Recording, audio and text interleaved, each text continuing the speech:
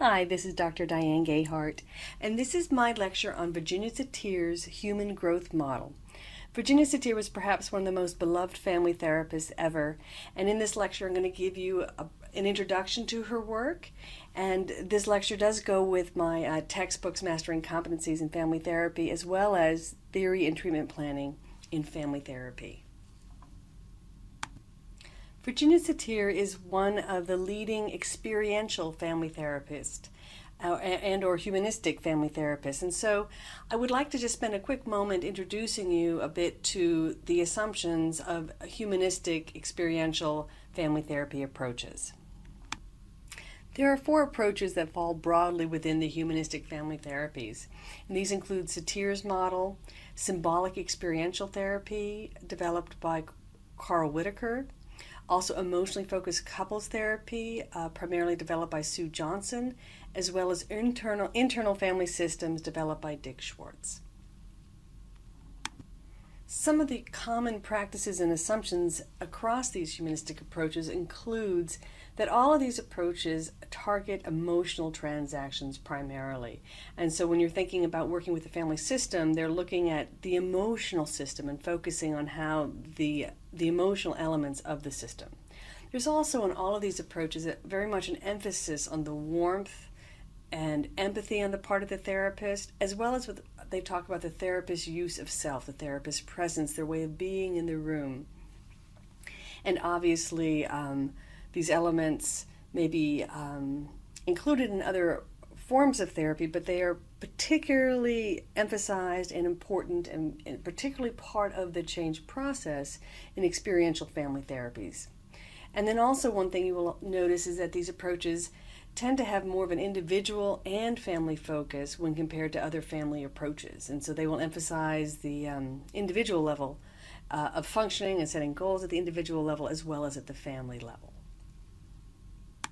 So now let's take a look at Virginia Satir's family therapy approach. And we're going to begin with the juice, one of her most important contributions to the field of psychotherapy as a whole. One of Satir's um, most impactful ideas was this idea of the communication stances. And this is a very, it's kind of a shorthand way of looking at how people, when they feel um, emotionally threatened in one way or another, what kind of uh, survival stance or communication stance do they take?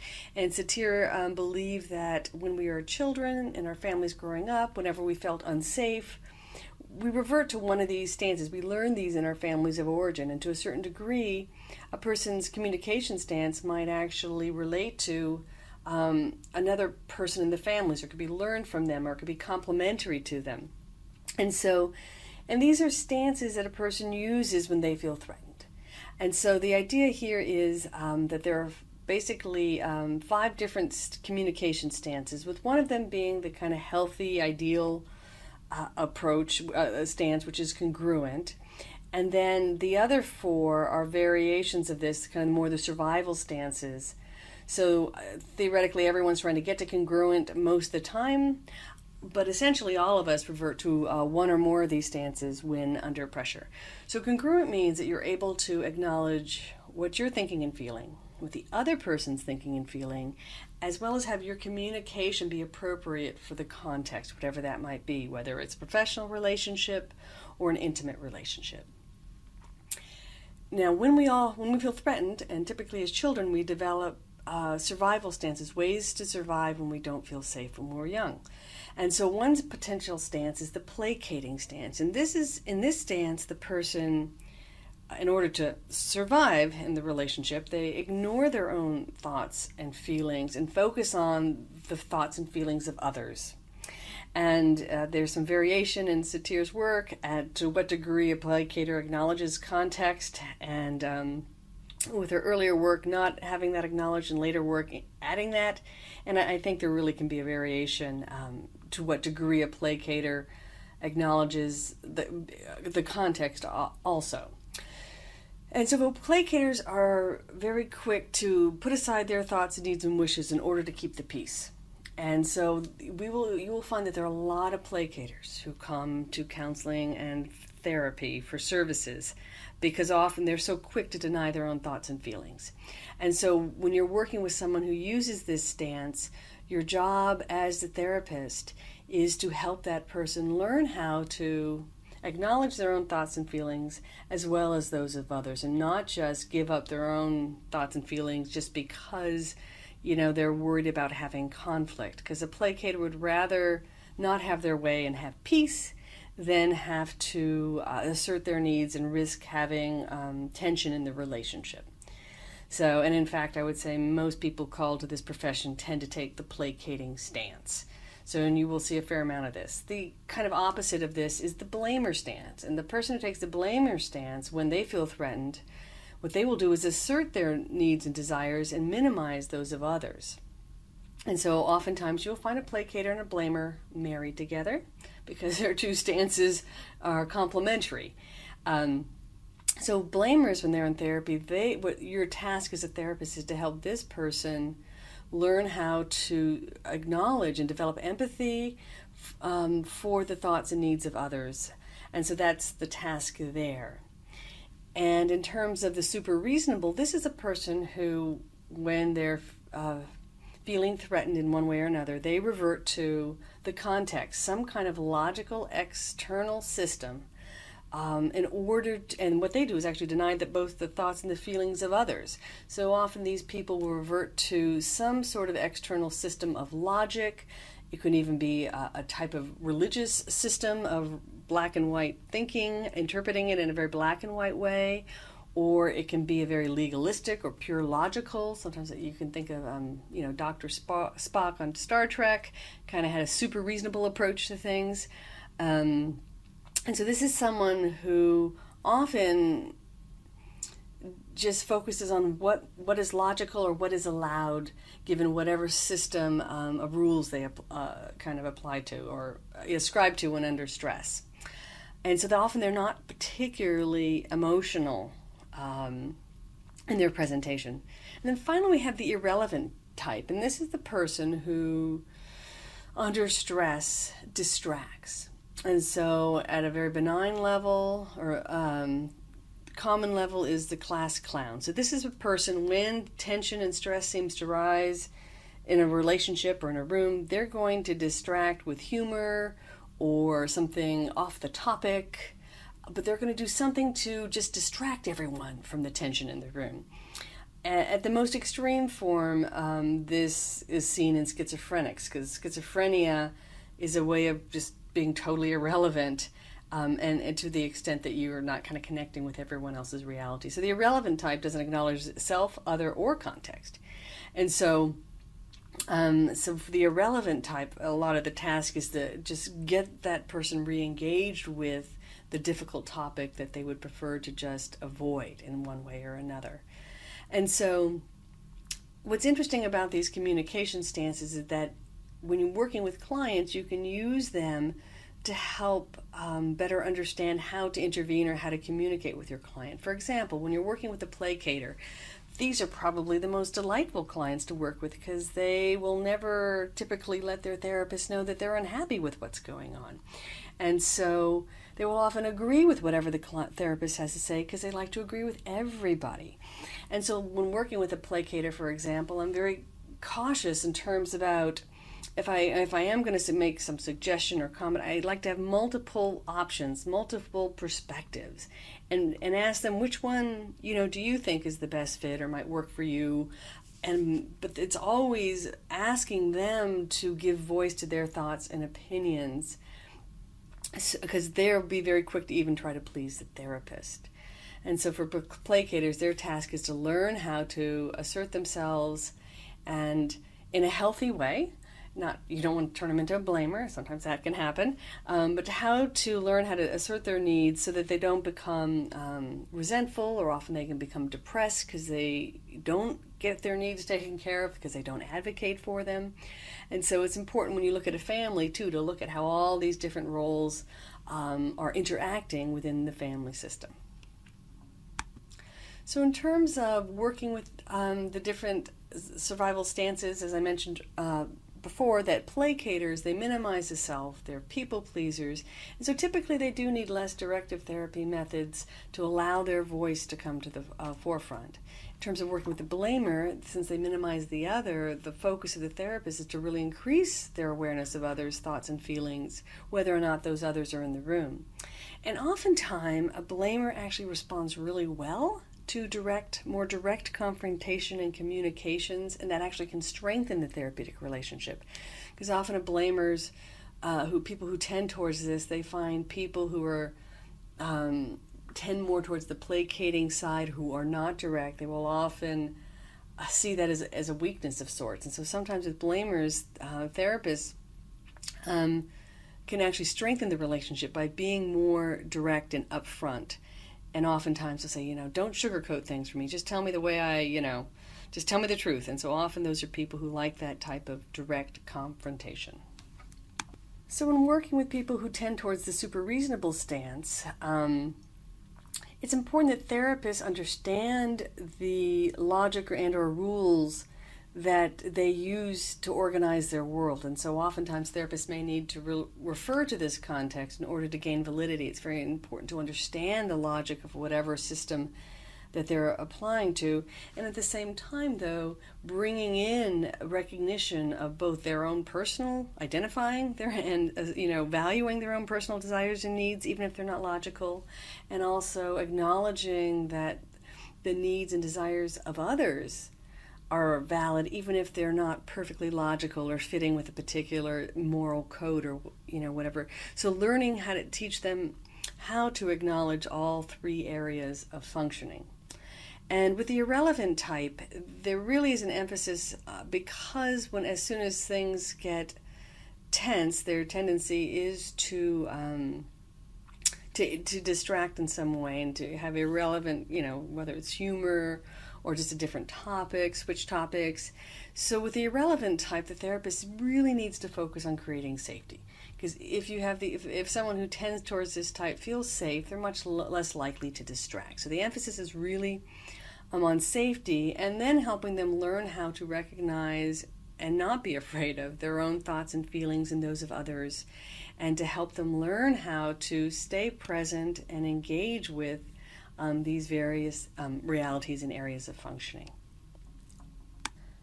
So now I want to uh, give you an overview of treatment in the Satir approach. So when Satir conceptualized family therapy, she conceptualized it in terms of a six-stage model. And in the beginning, you're engaging, and as a therapist, you're assessing what is the status quo? How is the system and family functioning at this time? And then the therapist is going to be basically introducing a foreign element. And so that foreign element can be um, a new way of looking at the interactions and this foreign element of how to communicate in a more congruent way. And then the next phase of what happens is what she calls chaos, because the family is having to deal with this new element, this new way of interacting this new idea or new belief, this, you know, you know, learning to tolerate direct emotional expression, whatever it might be. And so that's very that that disrupts the family homeostasis, for lack of a better word. And and so there's this chaos is that people are beginning to integrate. You know, there's kind of a, a positive feedback loop, and there's new information in the system, and so there's chaos. And then eventually there's this integration of the new possibilities. So eventually, then they integrate, with the therapist's help, this new element to the family system and they practice this new skill and they learn how to become comfortable with you know it could be direct communication expressing emotions whatever it might be. And then there is a new status quo new family homeostasis. As you uh, may recall that satir was a member um, at, the, at the mri institute and so she very much was at the foundation of using um, family, I mean, systems to understand families. And so you can see very clearly here this emphasis on homeostasis uh, in her work as the foundation and kind of conceptualizing. And the family can go through several cycles of this. It's not like it's just one, you get, you integrate one foreign element and you're done. It could be the case, but typically they, you would, the family would uh, engage in this uh, kind of cycle of change more than once. So now we're going to move on to talk about the therapeutic relationship uh, in the satir approach, and this really is a hallmark uh, in her approach. If you get a chance to see Virginia Satir in action, her presence is just unmistakable. It is unique. It is signature. It is so much. Um, is why she's so unforgettable, really, as a figure in the field. And a lot of her way of interacting with people comes from this, these very fundamental assumptions about human nature, which are um, humanistic in origin and her humanistic beliefs just permeate the room.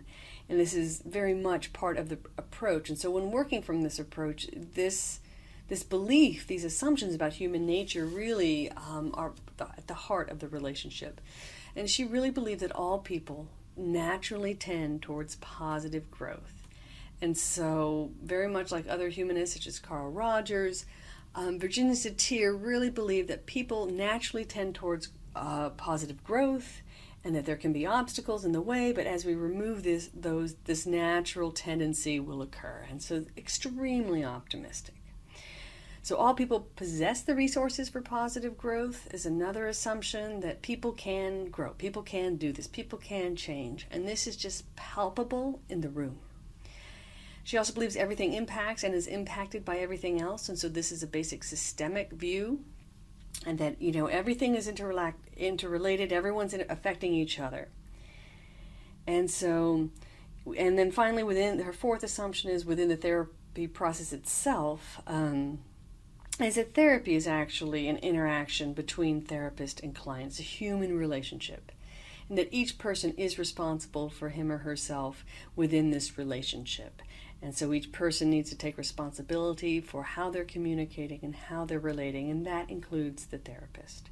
So these are the basic assumptions that are just foundational to how the therapist engages the client at a very, very fundamental philosophical level.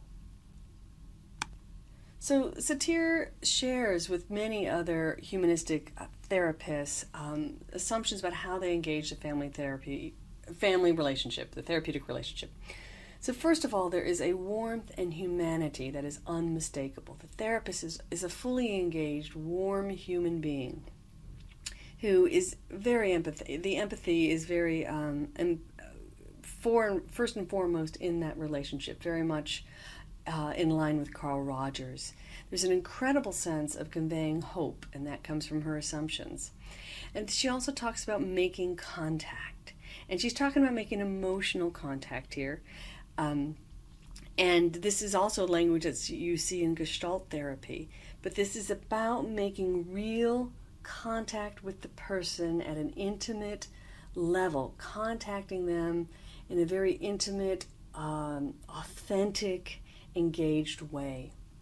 And um, this is something that's really unmistakable to the parties in the room. And then finally, there is an emphasis on establishing credibility that that uh, Satir really believed that the therapist it's not just that you're warm and fuzzy, but it's you, there is a credibility. The clients, you need to instill that hope that in the clients that you can be helpful to them. So now let's talk a little bit about case conceptualization using Satir's ideas. So, like other family therapists, uh, Satir believed that the symptom played a role in balancing the family's homeostasis.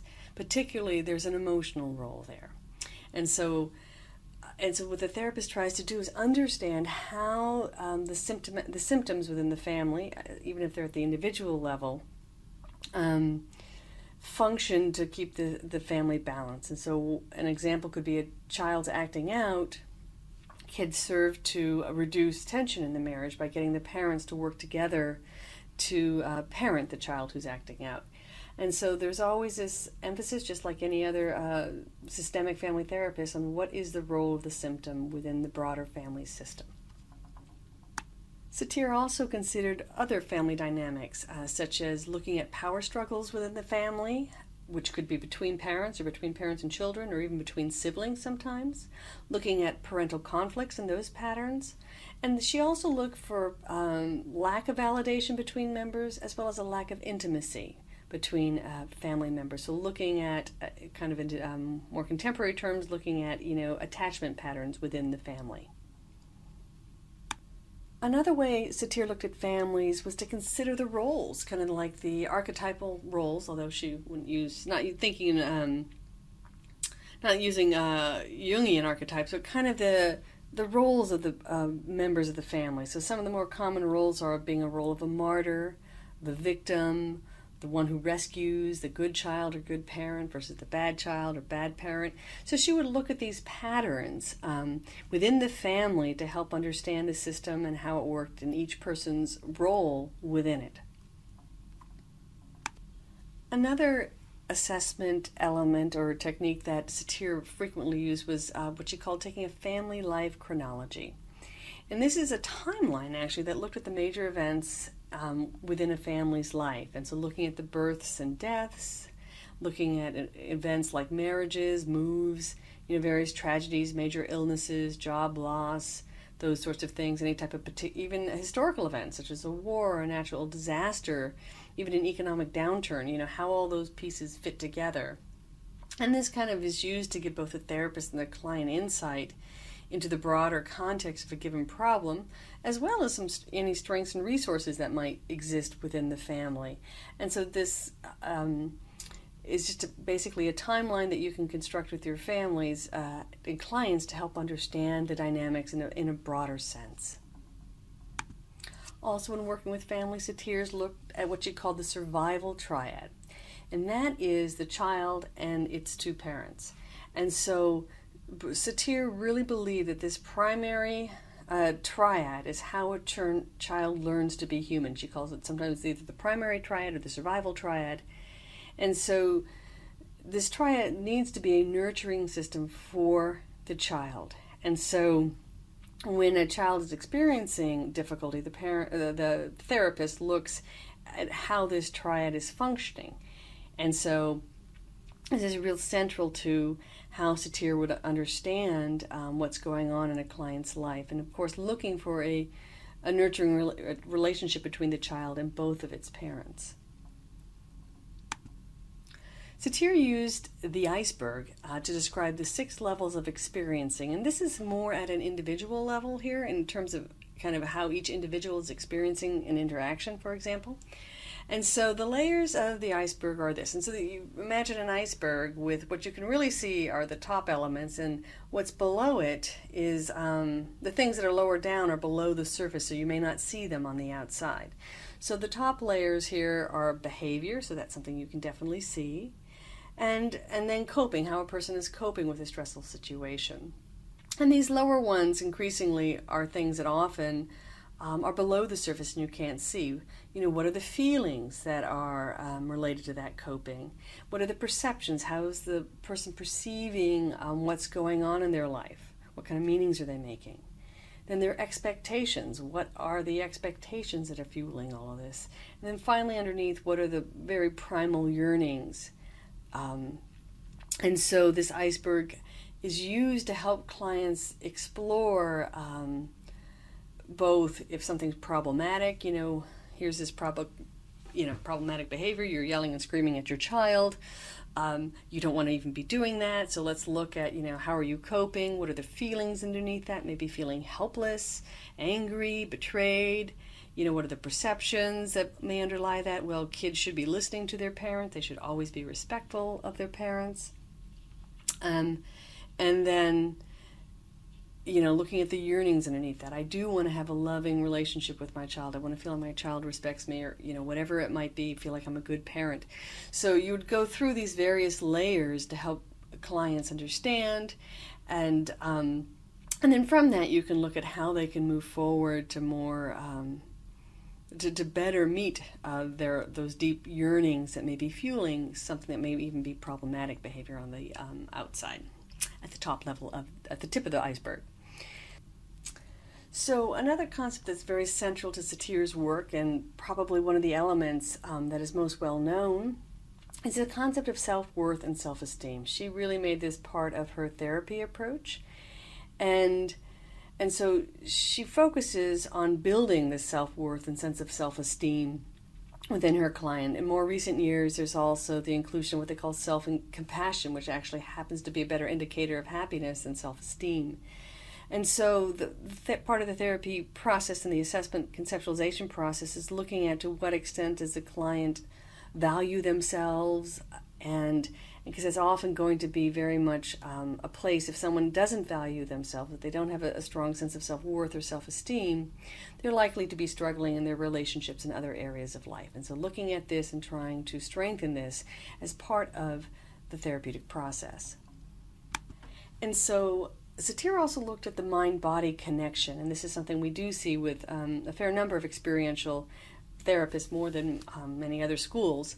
And so Satir would also look at how emotional issues may be manifesting um, either symbolically or functionally within the person's. Um, and so, and then also when doing the um, communication stances, we're going to talk about sculpting in just a couple minutes here, um, that these stances are actually associated with certain ways of holding one's body.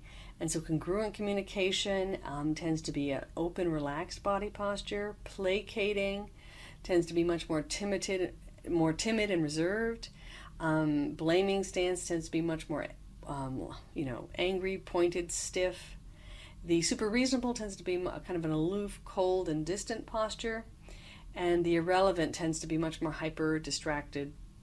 And so she also tracked the mind-body connection uh, when working with clients. So now let's look at goal setting using the Satir approach.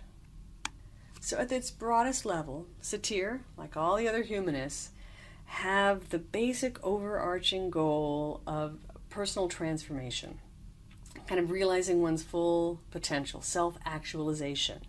So she has this goal that's very much out of the humanist tradition, which is distinct from many other family therapy approaches. Within that, though, there are two kind of practical goals that you're going to see in the treatment planning. One is relationally focused, and it's always the focus is on having commun- congruent communication in all relationships. And then the more individual goal is the self actualization of each member of the family if you're working with a system. So now we're going to move on to talk about interventions in the Satir approach. Capturing, uh, interventions in the Satir approach is not necessarily an easy thing. She has both some very broad general ways of intervening as well as some very specific, almost structured exercises, some that would be used uh, more specifically and, and rarely, such as sculpting. Typically, you wouldn't be doing that every week, and others that are much more general. So let's jump into some of these.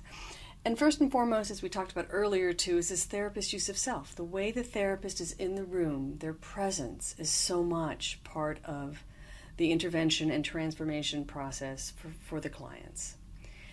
There, um, so along with that, um, in a more structured way, is this concept of the ingredients of interaction.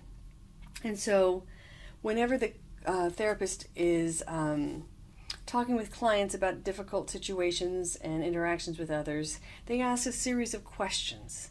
And again, um, this kind of goes along with some of the elements of the iceberg. So, what do I hear and see? Okay, what's happening at the behavioral level without any interpretation? Very behavioral description. You know, my I asked the ch- my child to take out, you know, the trash, and they did not do so. So, and then you move on to what are the meanings I make of this, and so here again you're moving kind of down the iceberg in a way. And so looking at you know how is the parent what are the parents saying? My child doesn't respect me my child's lazy whatever might be going on.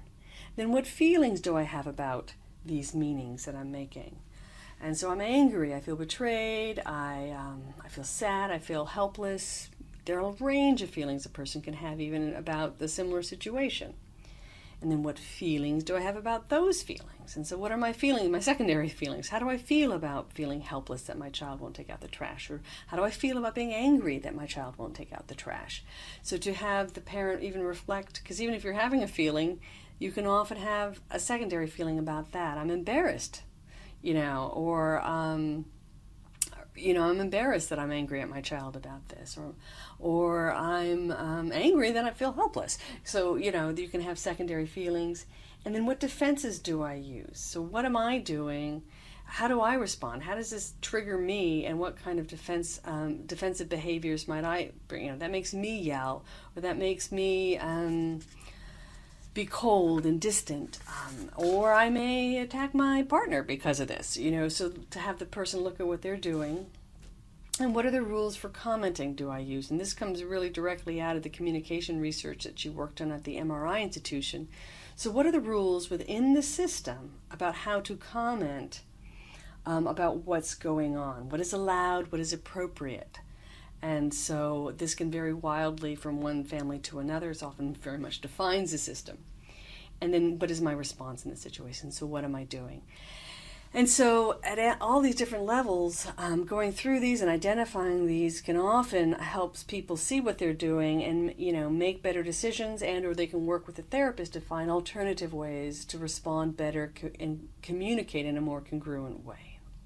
And so this kind of li- links into a lot of, um, when you see Satir in action, a lot of what she's doing is facilitating congruent expression, emotional expression. So helping uh, family members communicate with each other in a congruent way without the placating, the blaming, the super reasonableness, or the irrelevant stance. And so a lot of what she's doing is having people turn chairs to each other, talk directly, look in their eyes, hold hands, whatever it might be. Softening family rules is another type of intervention used in the approach. And in what this refers to is when families have very rigid rules about perhaps who can say what, when, where, and how, um, she will soften some of these to create more space for everyone's um, particular way of communicating in a comfortable way to hopefully reduce the use of survival stances.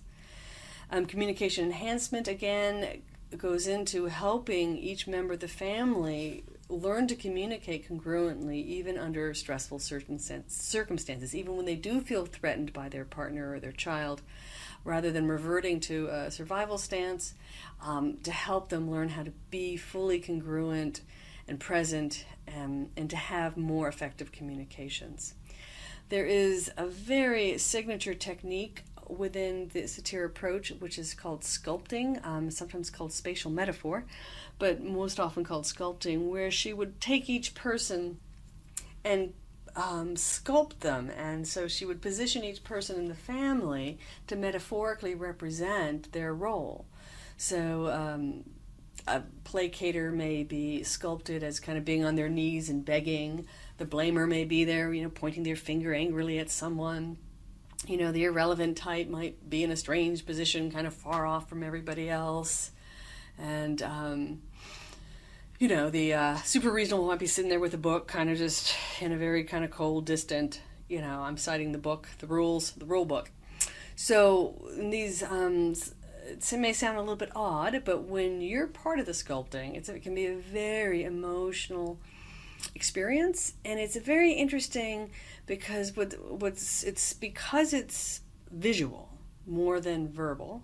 You can add verbal um, a verbal element to it by having each person um, repre- uh, say kind of like a, a, motto of theirs, you know. Oh, you know, oh, please be nice to me, or, you know, do what I say, or whatever it is, you know, follow the rules, whatever their basic motto is, um, that represents their position in the family. Um, but primarily, it's very uh, visual and uh, it's a very emotionally intense experience. And so it can often bypass a lot of other defenses when you, you know, have your child you know, sculpt the family and realize um, where the child feels totally on the outs or totally disconnected or whatever. You know, often that can bypass a lot of other intellectual defenses because it is such an emotional experience.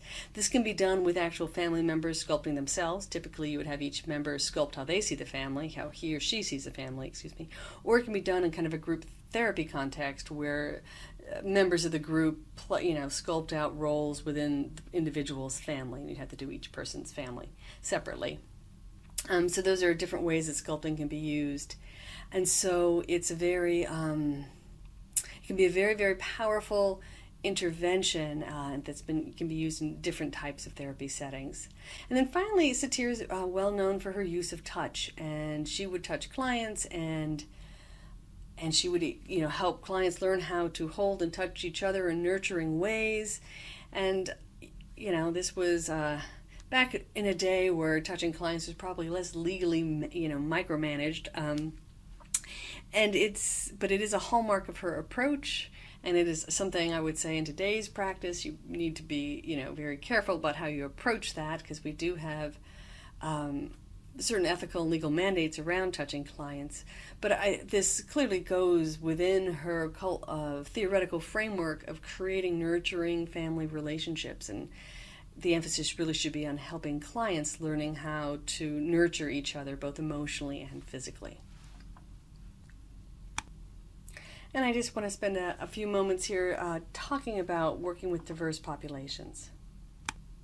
Satir's uh, approach is used widely around the world, um, and so it certainly is can be used with a variety of cultural, ethnic um, groups. But it's very important when you're working with diverse clients to be very mindful of cultural norms and attitudes about emotional expression, and so humanistic approaches very much uh, favor very direct, warm, engaged communication, and that's not true about all cultures. So it's very important to um, consider the cultural norms. For example, in East Asia, that type of warm, direct communication is not is um, outside of the norm of typical um, communication. That said, uh, Satir's work and other humanistic approaches are very popular um, in East Asia, um, but it does need to be uh, adopted, especially in terms of how the therapist is assessing and evaluating the, the emotional expression within the family. Definitely has to be considered within both gender and cultural norms. Um, similarly, this approach has been used quite widely um, in the LGBTQ community, um, and there is this um, because of the emphasis on self worth and recognition and becoming one's authentic self. It very much um, focuses on this, and the sculpting and communication stances, I think, add a very rich element that can be used when working with highly marginal populations. And so, this has uh, been an approach that has been used, but with a wide range of diverse clients. It's just important when you're thinking about emotional expression that that is very much dictated by culture gender even social economic norms. And so to keep this in mind um, and when you are working with clients and coaching them and helping to them to learn how to communicate um, more directly uh, with with those in intimate relationships and to make sure that, that it's clearly appropriate for a given culture or gendered group. And so in wrapping this uh, a lecture up, it's I just want to highlight that what's really unique about Virginia Satir's approach, besides her just amazing human presence that she she brings personally, but her approach is also very signature in that it addresses both systemic as well as individual ideas and um, works both at the individual and systemic levels, and so. This is unique, I think, among all therapies to have this nice balance, and and so it is an approach that has a lot of applications and utility and can be used with a wide range of issues because of its multiple le- levels at which it conceptualizes and intervenes. And for those who are interested in learning more about practicing from a satir approach, I highly recommend you kind of connect up with the Satir's uh, global network, um, which has links across the globe, because this is the primary place where you can learn to do this approach. And so I encourage you to research further if you're interested.